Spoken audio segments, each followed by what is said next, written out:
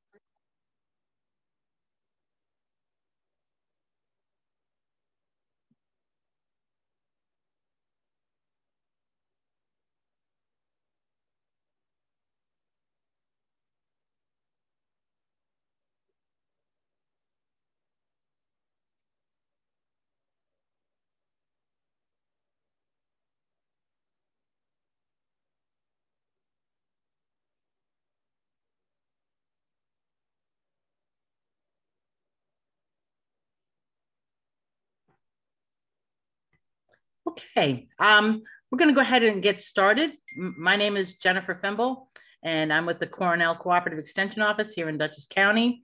I'm also the county's ag navigator. I work with municipal officials um, when it pertains to matters pertaining to agriculture. So I work with um, assessors and planning board members, uh, zoning, building code officers. So it, it really has been a great thing. And this series of uh, Farming in Dutchess, uh, the virtual series put on by uh, Dutchess County Planning, is also part of the um, Ag, uh, Dutchess County Ag Advisory Committee as well. Um, Soil and Water is part of that. And without further ado, I'm going to introduce Lauren Drum. She's here from the Dutchess County Soil and Water Conservation District. Tonight's program is on regenerative farming and soil health.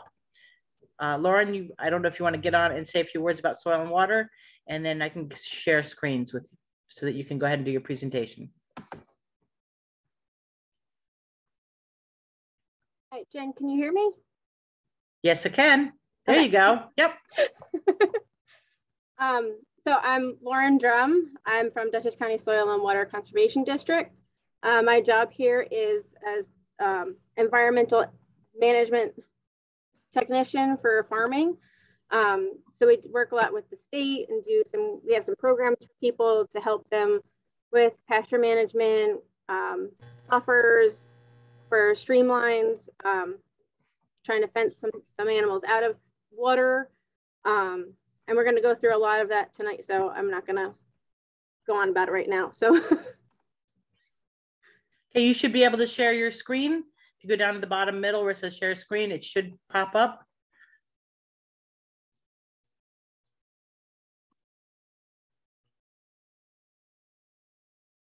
There you go. I think it's starting in the middle. I'm going to ask all the participants to put any questions you have in the chat. And instead of interrupting Lauren, we'll go ahead and get to those at the end. Um, and then I'll go ahead and, and address those questions as we, um, towards the end of the program. Okay. Um, can everybody see the presentation? Is it up there? Yes, it is. Okay. um, sorry. You might, want, you, want, you might, might want to put it onto um, slideshow. Oh, it's on the, I think it's sharing the wrong one.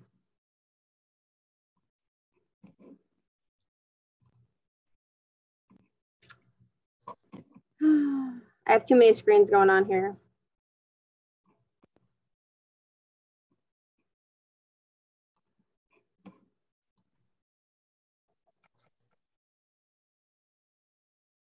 I need to get out of it.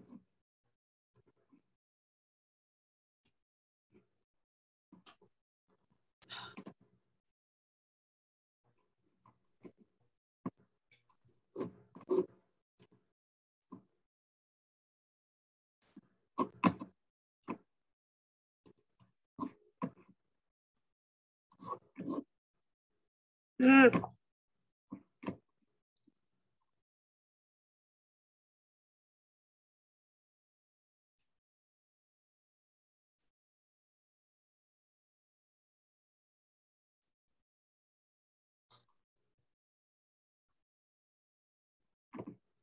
Not on the right screen. So reduce that one and then pull up the other one that you have. If, if as long as it's on your screen, if you've already got it on your screen.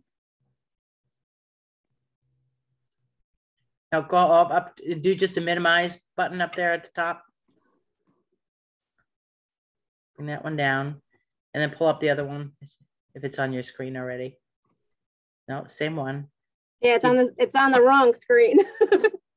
oh dear. Can you drag it over? Screens that I have.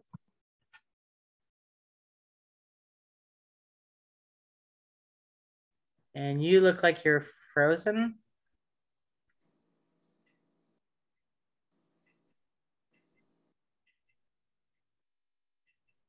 Hi, Lauren. This is Shelby Frank from Dutchess County Planning. Can you hear me okay? Yep. I just wanted to say, if it's easier, you um, on your other screen, if, if you're not able to drag it over, like Jen said, you could always email it to us. Um, you could email it to Jen or myself, and we could share on your behalf if that's helpful. I just took all the screens off.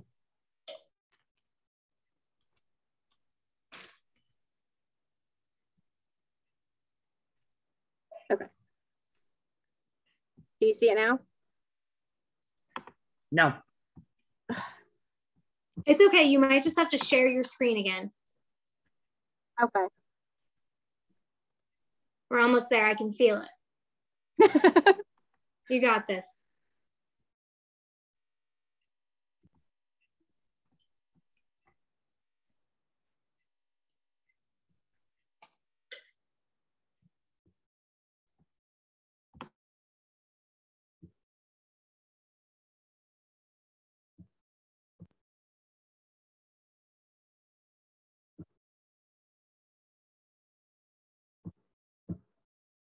There you go. We can tell I'm not very tech savvy. go to that one and then go to slideshow and it'll start from right from the beginning. Okay. Okay. There you go. So. Sorry about that. Um, so soil health, um, Dutchess County Soil and Water Conservation um, my program is an agricultural agriculture environment management program. Um, we're just going to go through some basics of just general soil.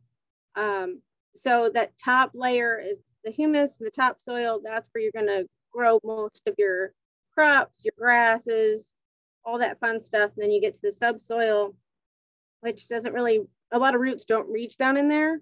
Um, and then you got weathered rock and bedrock. There are some places where the bedrock is a little bit higher um, and it kind of fluctuates a little bit here and there. Your organic layer um, is a lot of your, your top plant matter um, and your topsoil is where most of that stuff is gonna start growing with a good root system. Um, so the, the median for soil, it's a good habitat, habitat for organisms.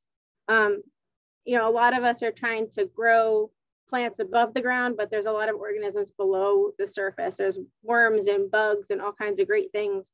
Um, so people are worried about the cows on top of the soil, but what about the bugs underneath? You need to have all of that present in order to have good, healthy soil. Um, soil's a, a median for growing.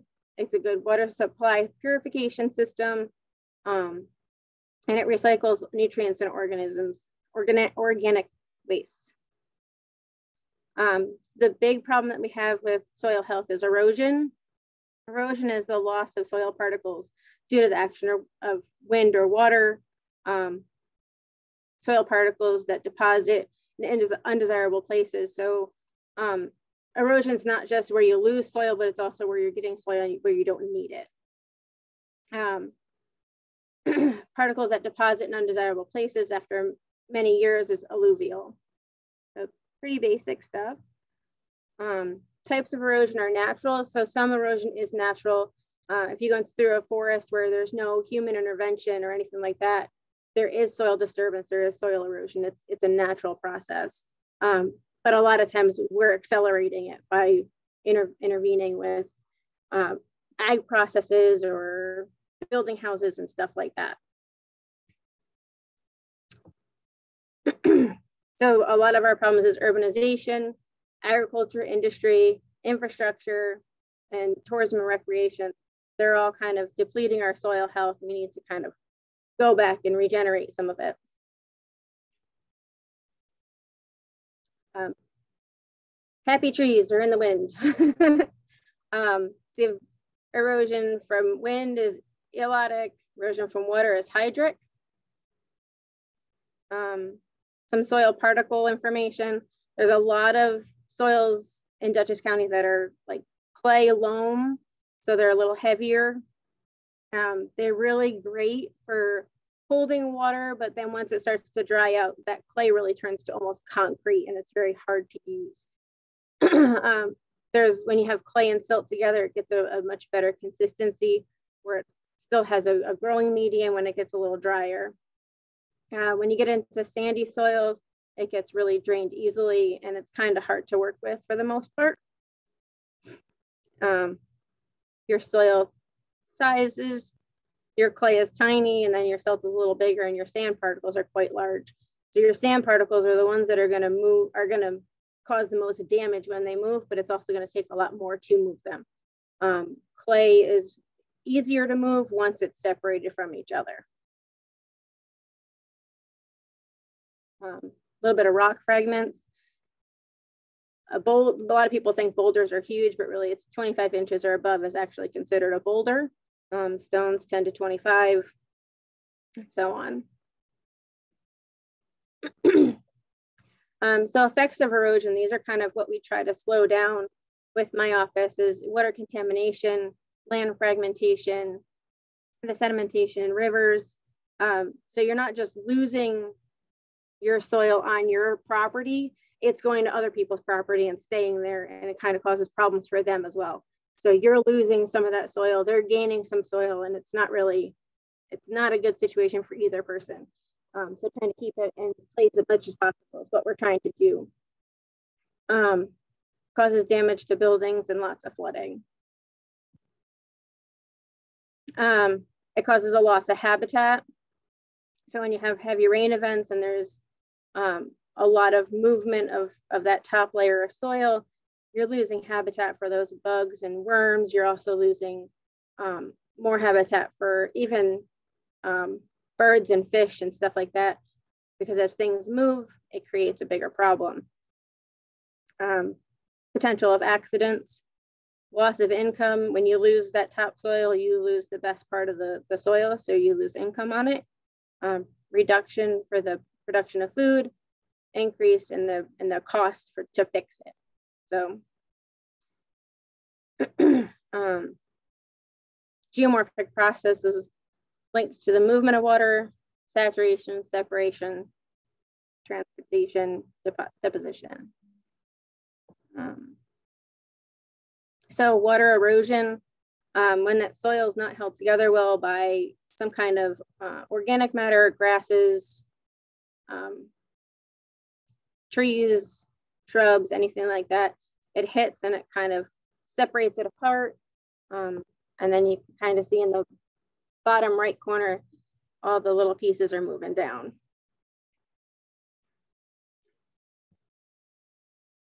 Wind, it kind of more skips away your small, smaller particles like your clay, when it separates, it's gonna kind of go into the wind. Your bigger particles like your sands are gonna creep along the, the ground, um, but it's still gonna move pretty good distances. Um, so the, the more ground cover you have, the less soil loss you have. It's kind of what this kind of so influence vegetation on the soil. It protects against traffic, increases absorption and accumulation of nutrients. It intercepts water, so it kind of slows down the water before it takes it away um, and increases the filtration, stores it. Um, so the more vegetation you have on the ground, the more infiltration you'll have in the soil and the better it will store it. So when you do go through a, a drought period, the drought won't affect you as long or as hard because you'll have that water holding capacity in your soil. And it ties up particles. um, it's harder to move these particles if they're held together by different types of vegetation. Um, so now we're going to get into a couple of projects that we've done. I'm going to try and get this to open up a video that we did last year. Um, three of the big projects that we've done are for the carb carbon sequestration grant. Um, so Chase Home Farm does rotational grazing. They're trying to build the organic matter. Um, so they did some cover crops and bale grazing. Um, and then Willowbrook did a riparian buffer. We fenced out a, a stream for them. Um, I'm gonna try and get this to open up.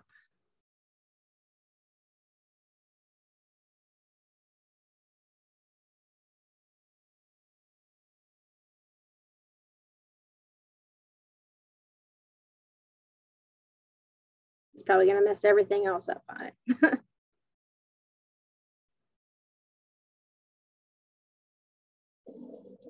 that you're going to have grass for your cows.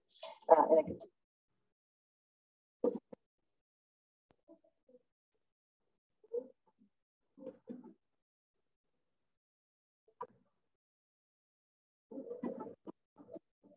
I'm Sarah Chase from Chase on the Farm. A third generation dairy farmer, but I'm 100% grass fed, organic. We practice rotational grazing, uh, holistic management. We're managing on our home farm 220 acres with about, at this point, 75 cows.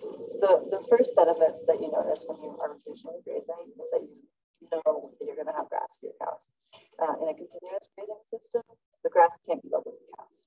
In the prescribed grazing, where you're setting up where the cows can and can't go, they only have access to what you give them. So they do a clean job taking down all those plants sort of the same. And then that zone can like regrow and you can count on that grass to come back. We started grazing taller, not turning them into it until the grass was taller than it had been first grazing. And that way we were able to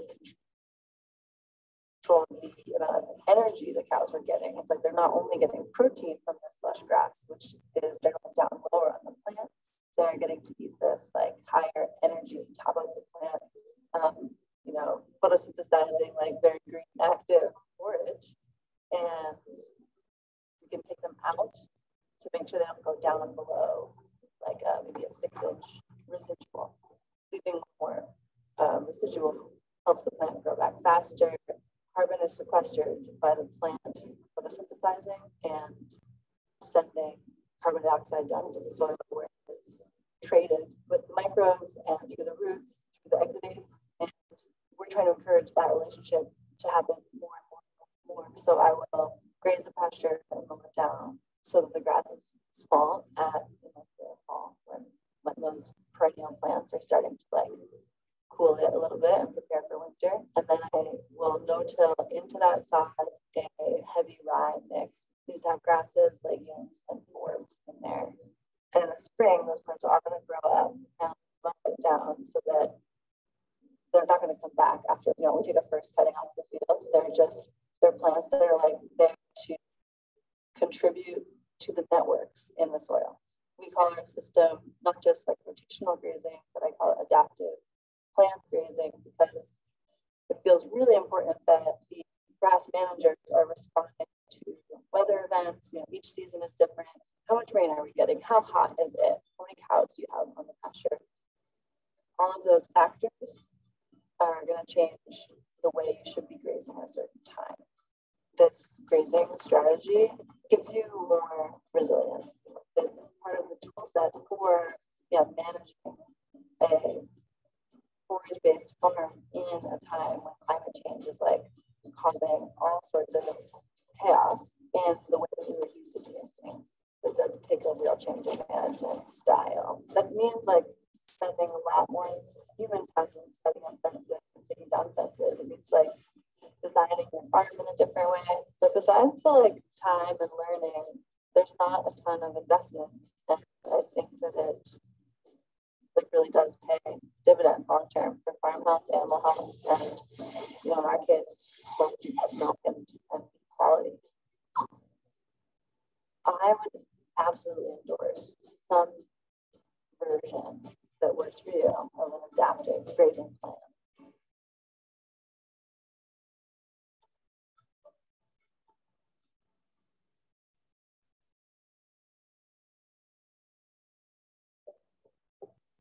Hills of Tomales and Marin County are breathtaking.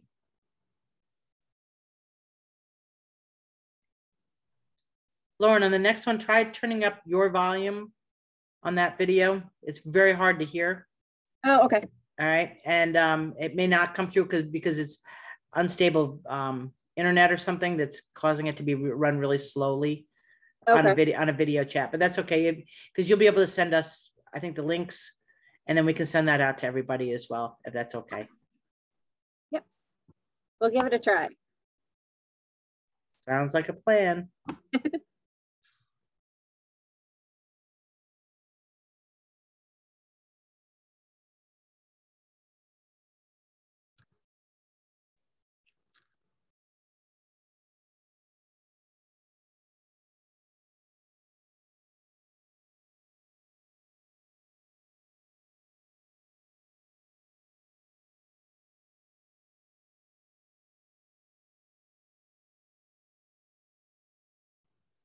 Hopefully this loads.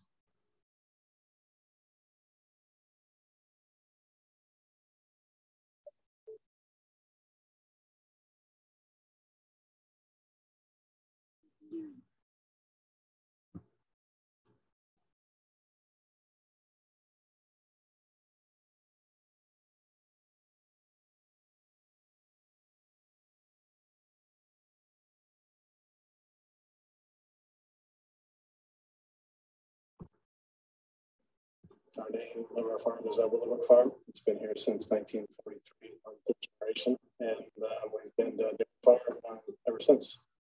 We have a big waterway that goes through our farm. We have a huge stream bed. The beginning of our swamp is the, is the aquifer that runs into, Tuck Creek goes over to mile the uh, River.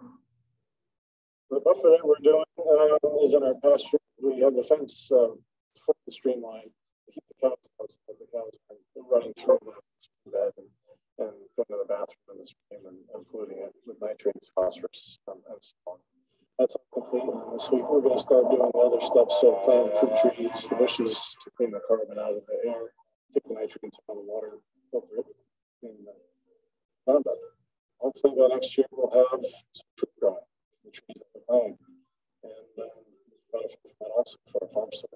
Before the project started to reclaim the stream bed, we had a group of peppers down there and they all just traveling through the, the streams. The traffic of the animals went through the water, it made it really muddy. So the pasture was always muddy, the cows weren't as clean. And by keeping them out of the stream bed, um, actually dried up part of the pasture.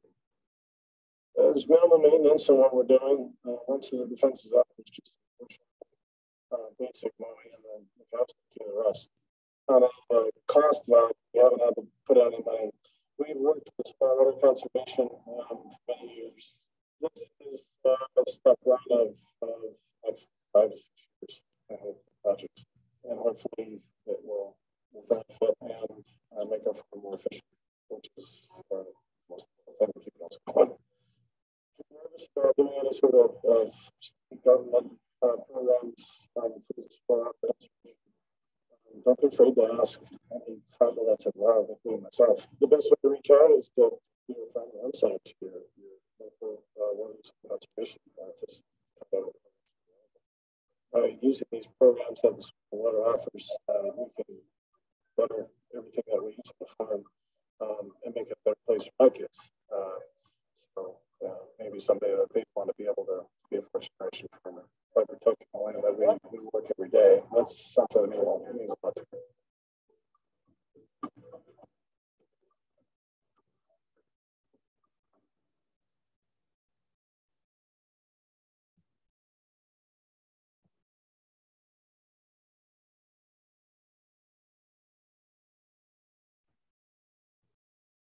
Okay, so if you couldn't hear that, then I'll make sure that you guys get the, the. Yeah, that one, no, um, that one was actually even worse. So I'm not Oh. quite sure why. Yeah, so it wasn't, it's not you. And and for those of you who are on, you know, these are really well worth watching and listening to. Maybe just give a brief overview of what you were doing um, in those videos? And I think, and then you can move on from there. Thanks, Lauren. Yeah, I have pictures of like before and afters for both programs. Um, but those were really cool videos to kind of get an idea of how the farmers feel on things as well. Um, so I was hoping they would work, but best laid plans don't always work. um, so a little bit more on Willowbrooks. Uh, the top picture is before we put the fence in. It doesn't look terrible. There's a lot of like weeds, but you can see where the cows kind of entered that stream. They would stand in it. It's kind of mucky. Um, it comes right off the barn. So uh, the bottom picture is right after we put the fence up. Um, so it was a, a, completion of the fence picture kind of a thing. So there's still a lot of wear and tear on that stream.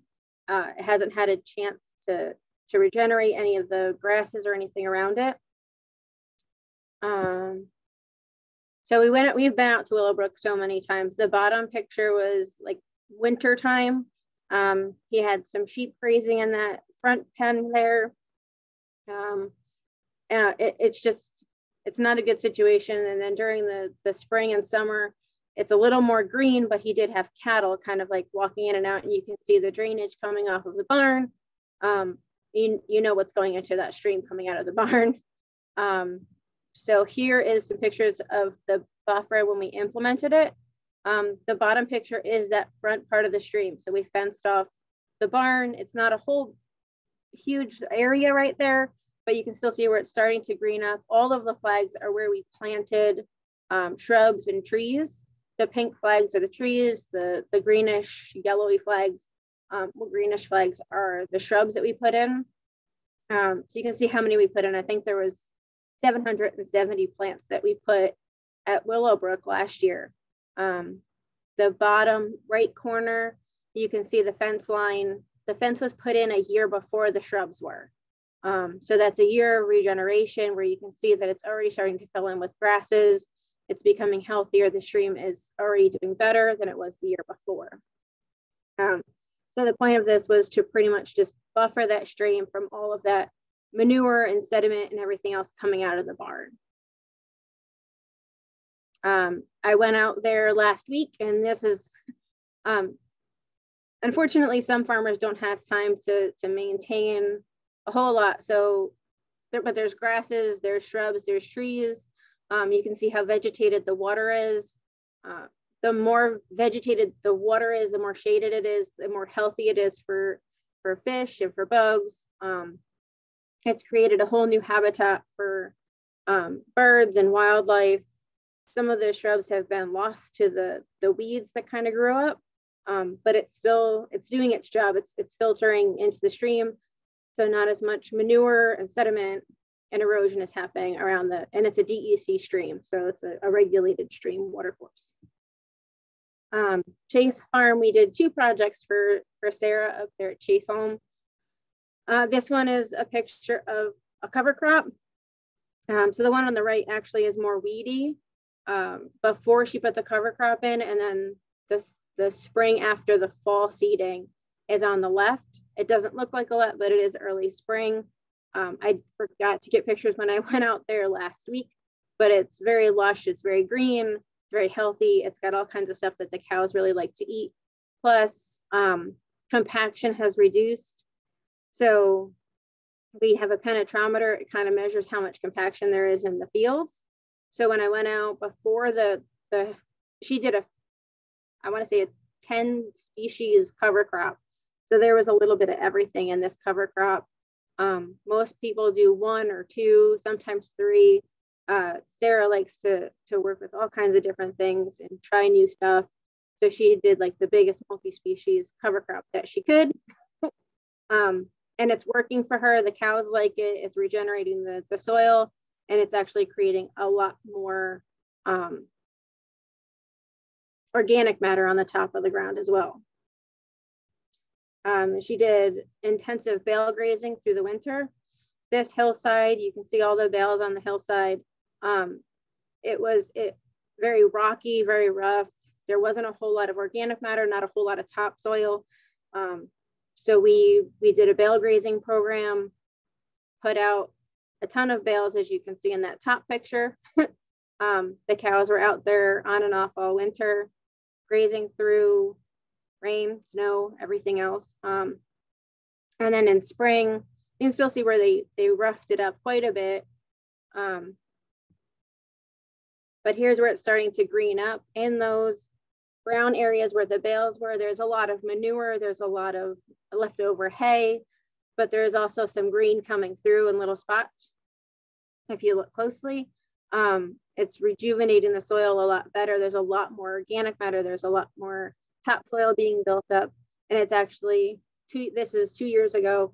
This year I went out there last week and once again, the compaction is down. There's much more organic matter growing. There's much more grasses. It's much healthier. And I think that it did its job.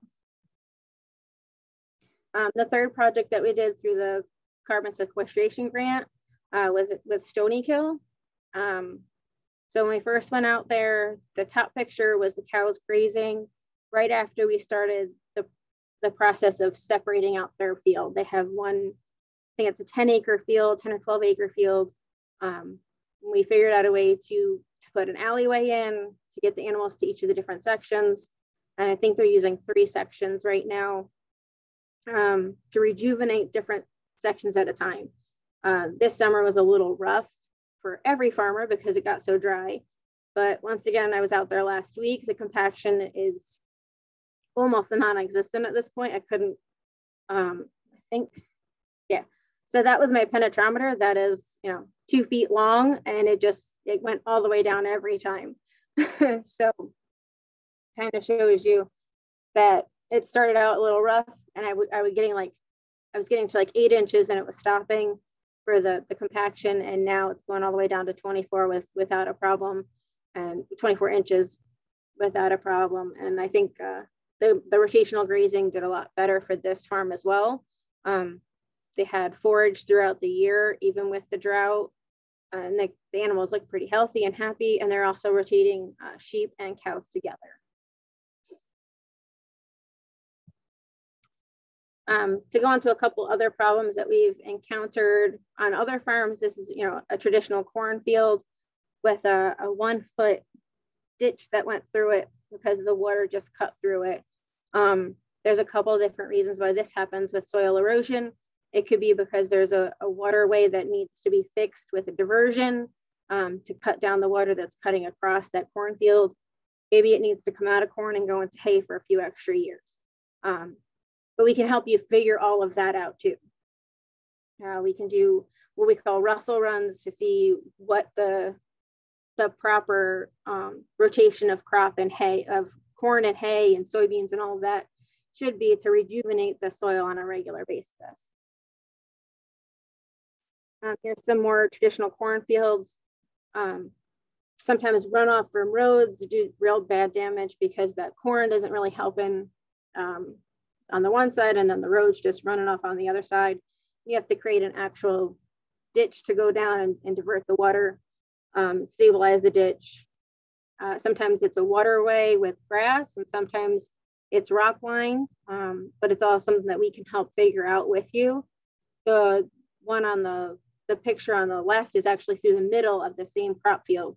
So they needed a diversion to come across the middle of the field and cut the amount that goes down the hill So there's a couple different problems in that field.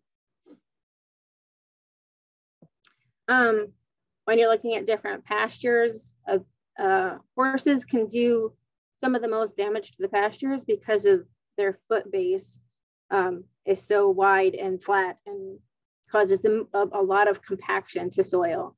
Um, a lot of horse farms don't have enough pasture to create good soil health. So the, the most you can do is try to rest and rotate and get that grass to grow before letting the horses out there. And the, the more you can get them to rotate, the more forage you can get to grow in there, uh, the better off that soil is going to be. And this huge ditch might not happen.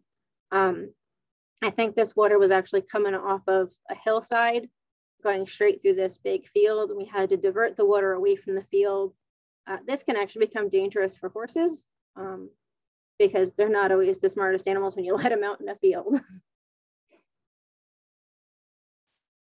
um, so this one, there was a diversion that was in place, but like a lot of things, there's a lifespan to it. Um, so the, the diversion actually broke. This is a few years ago. There was a heavy rainstorm um, and the diversion broke and, and took out a pretty good swath of corn in that field. So we had to redo the, the drainage on that field with a new diversion.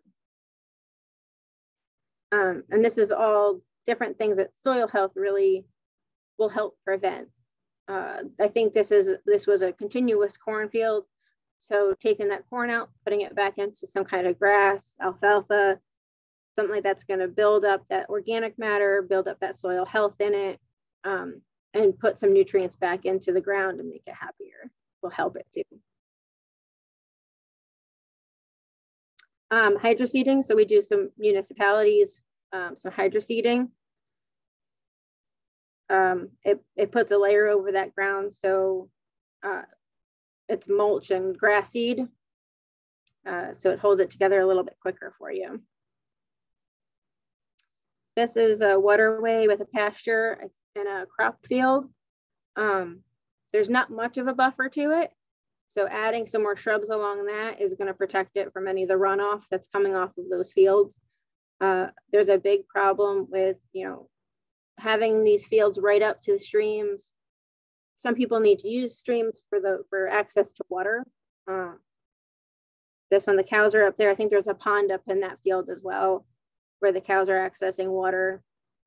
We can try and find grants in different ways to fund uh, water for for pastures as well. Um, so to get the cows away from that water, buffer it because it's, it's you know soil health and water health are kind of you know all in the same game. um, putting some more shrubs up there, protecting that soil, protecting that water, it's all the same stuff. Um, cover crops.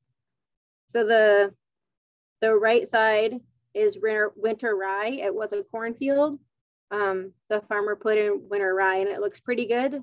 The left side is an alfalfa mix. So it's continuous alfalfa for up to five or six years, depending on the farm and how their alfalfa is growing.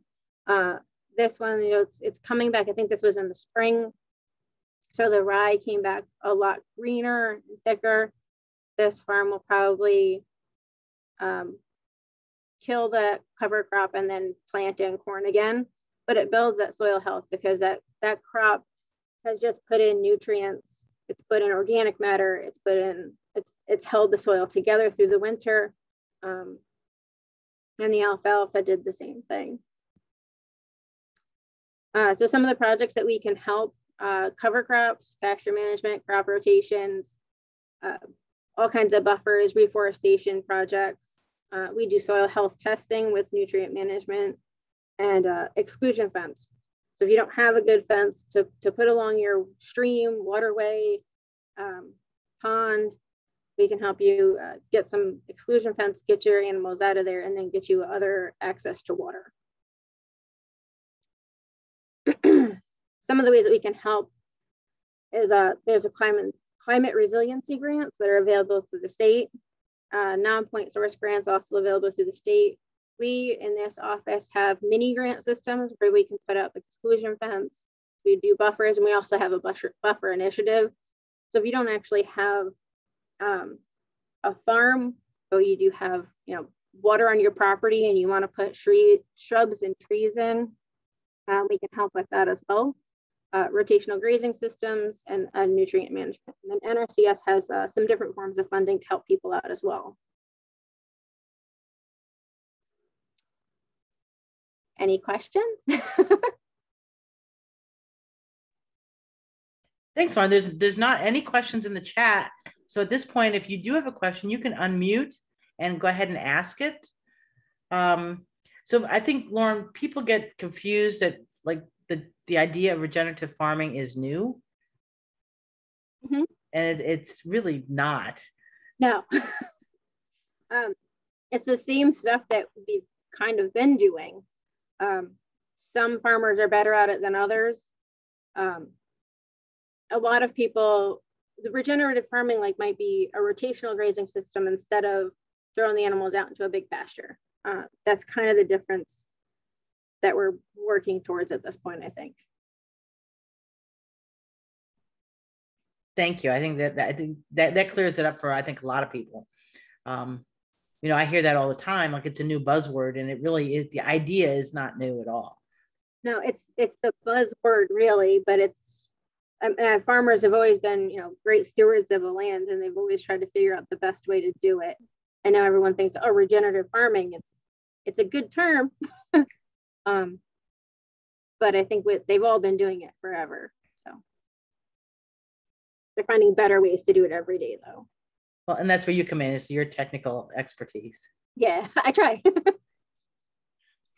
Yep, this is Tim here from Stony Kill, and I just am amazed at like the two years that we were doing the rotational grazing that you saw that that improvement, and also I felt it was surprising because of the drought this year. I, you know, I, I was worried about that, so it was just shows that you know putting that rotational grazing really increased the field, and I'm amazed at how quickly that that happened. Yeah, when I was out there last week, the the soil was just healthy. Um, because I pulled out this uh, the Cornell Soil Health Lab samples. Um, so I had, you know, a, a bucket full of dirt from the field, and it was healthy. It was it was wet. It was um, had a lot of worms in it. It was uncompacted. You know, the the penetrometer really worked on it. So. And with the rotational grazing, we are able to keep them out of an area that kind of really was affected by the drought. So they weren't on that piece at all. And they were kind of more in the more wetter area that was still kind of growing even during the drought. So uh, it, I think that helped us manage the livestock and where they were. So it was oh. great. I'm glad it helped out.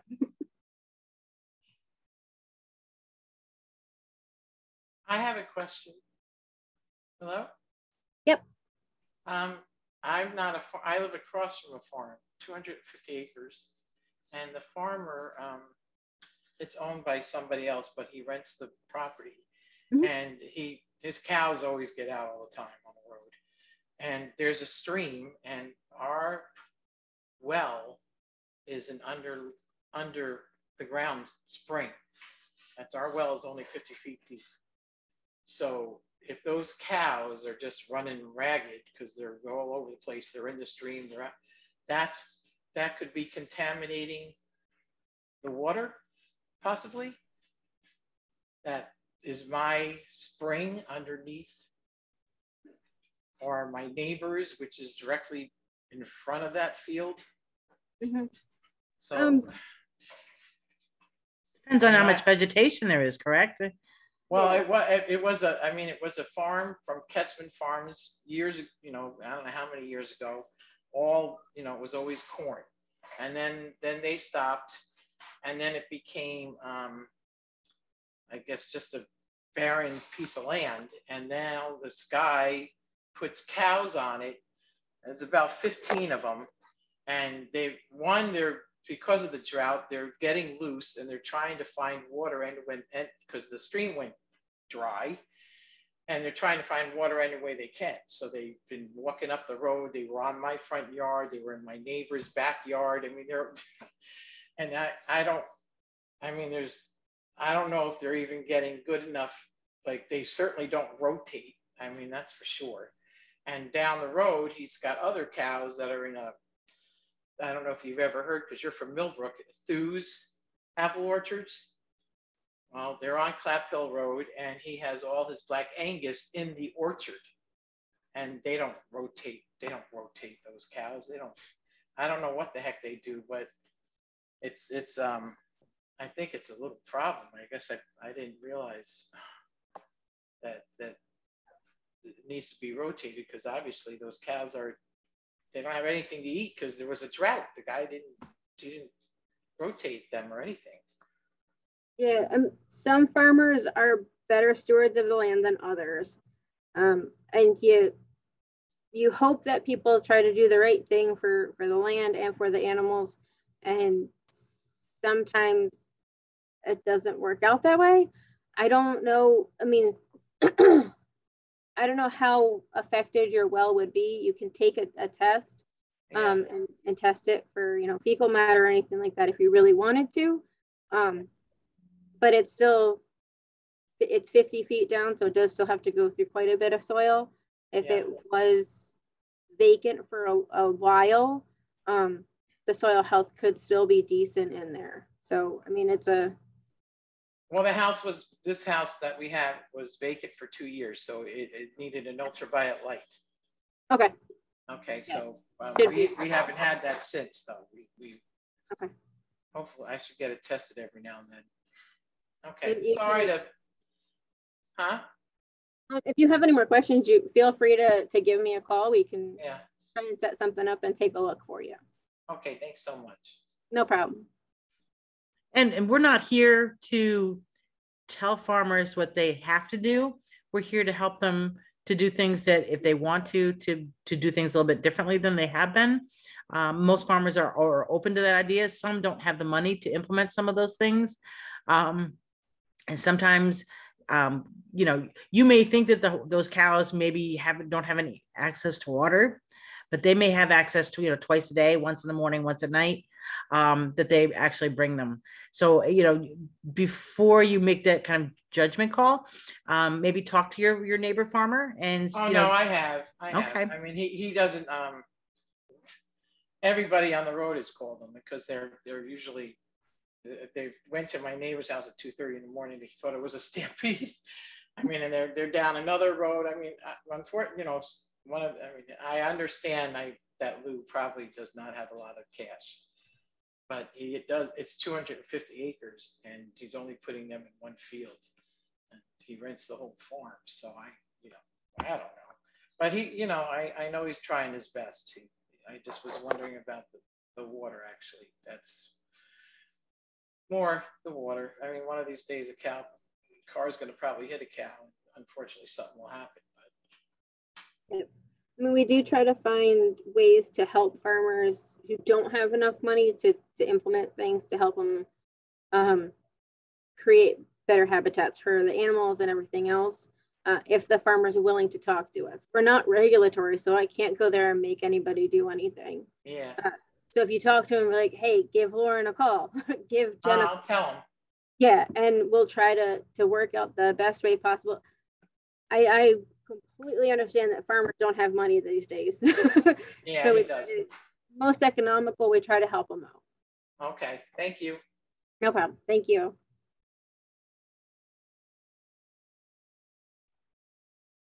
any other questions? That's actually a really good discussion, I think.